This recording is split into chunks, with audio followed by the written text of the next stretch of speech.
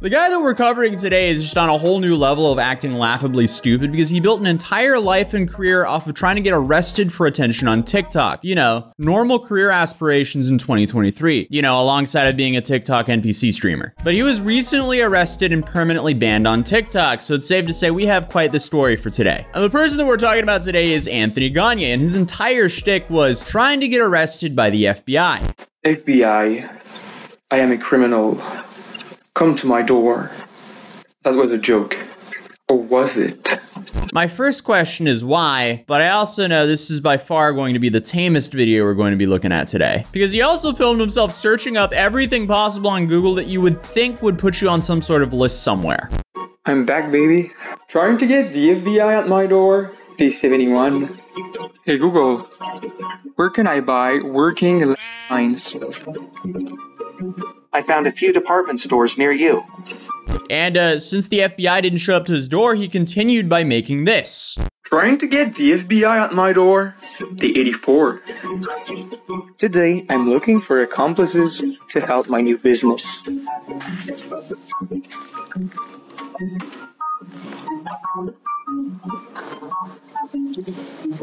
The trick is to remove a couple, so people think someone's already interested and it might be legit. Oh, maybe a new recruit? I don't think anyone would actually take that seriously. It's more or less just a funny bit for TikTok. If you see that on the road, you'd be like, oh, wow, look at that. A side quest that could get me prison time. No, thank you. But then he steps it up. Trying to get the FBI at my door. Day 75. If that doesn't get me a visit, I don't know what will.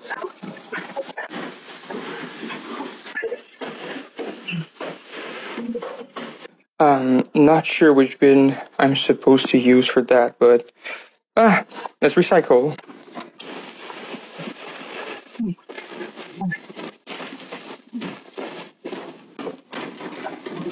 Done.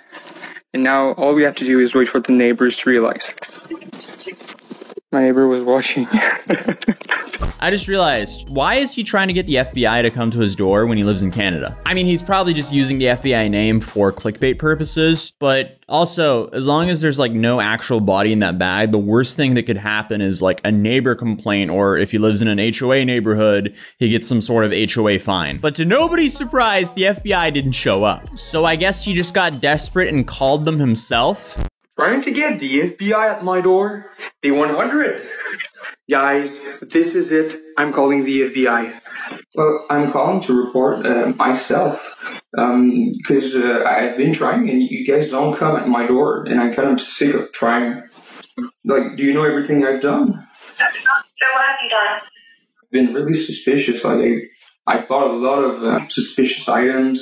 Um, What have you bought? well, uh, chainsaws. Why did you buy these things? Well, for fun. Okay, so I'm going to document all this information you have given me, okay? Okay, All right, thank you for calling the FBI. I hope you have a great rest of your day. thanks.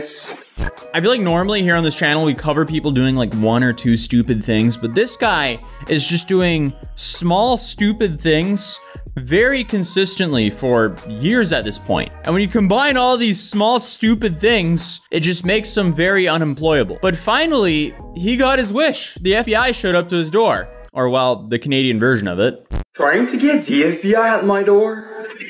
We did it, guys. It's over. Two days ago at 11 a.m. ish, someone knocks at my door and wakes me up. So half asleep, I open the door and two anti-terrorism agents from the RCMP were in front of me. So, Story short, apparently many of you called the FBI to say I had boom devices in my basement. So the FBI asked the RCMP in Canada to investigate. So they found everything. They probably even joined the Discord to have more information. they basically said, now you have what you wanted.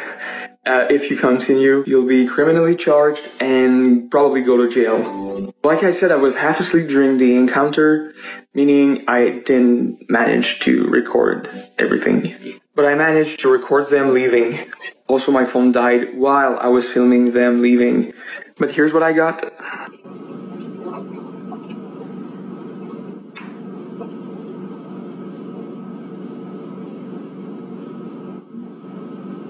It's the end of our journey, but it's the start of another one. I'm going to come up with new series soon. I'm not quitting TikTok. Um, I'm just quitting this series. See you guys. I really feel like this is proof that society is in a free fall, considering this person is aspiring to do this for a career. But okay, did he learn from this? No. Absolutely not, because he changed the title of his series from Trying to Get the FBI to My Door to Trying to Get the Police at My Door. Trying to get the police at my door. Day seven. So this is a Canadian bank. Wish me luck.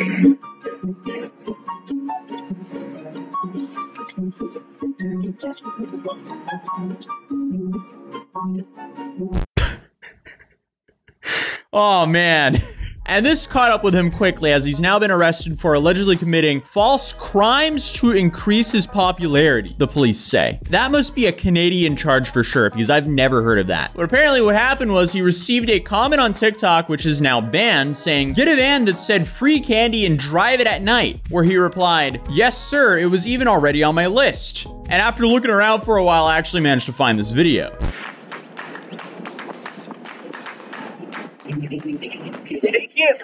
Want some candy? this dude. If he wasn't actively trying to get arrested, he would have probably been fine until he actually started going to what it looks like to be a school to give away candy. Puis avec euh, comme quoi Bro, I don't care if it's all for content. That's weird. Don't mess with other people's kids. And just to make himself look even worse, in his most recent video before I guess he got arrested, he just stuck a shovel in someone's grave. This is an unboxing video. What I'm slowly realizing is good comedians also have good social antennas because they understand what they can say and do and what they cannot say and do because that's not something you do. But according to the Daily Hive, that free candy stunt of his caused the police to start investigating him. And that's where they found he essentially tried to waste the time of law enforcement over a hundred times. But what's really weird about this guy is like he even met up with the police for their investigation, but then he went home and continued to make videos trying to get the police to show up to his door. Why? Why would you do that? So he was recently arrested and he's facing the charge of attempted public mischief, but he was released shortly after on the condition that he is prohibited from sharing or publishing content on social networks. But the police said in quote, it's time people understood that gestures or words spoken on social networks are not without consequences. Whether the police are incited virtually or in person to launch an investigation under a false pretext is a crime.